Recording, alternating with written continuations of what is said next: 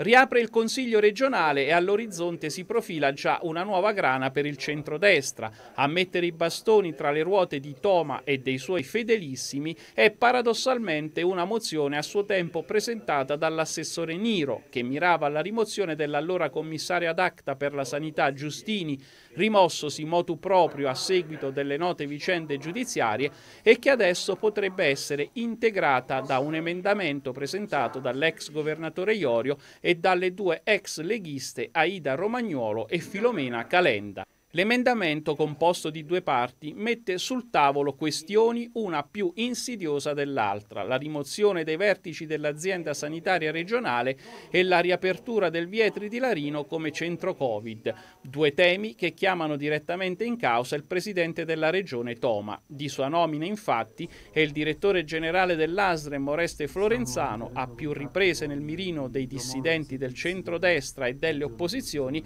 mentre sulla questione Vietri centrale centro Covid è da tempo nota la posizione contraria del Presidente della Regione.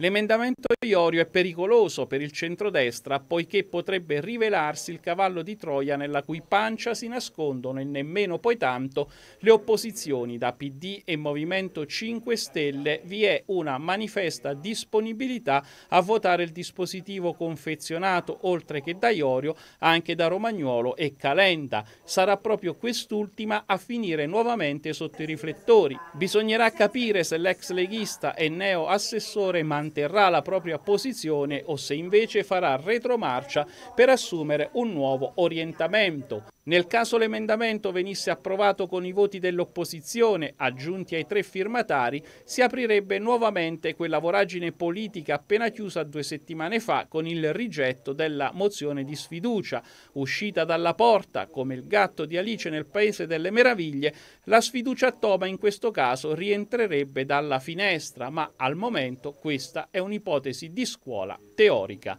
Poi nella pratica bisognerà capire se in aula tutti manterranno le proprie posizioni, cosa che in politica è una delle più complicate in assoluto.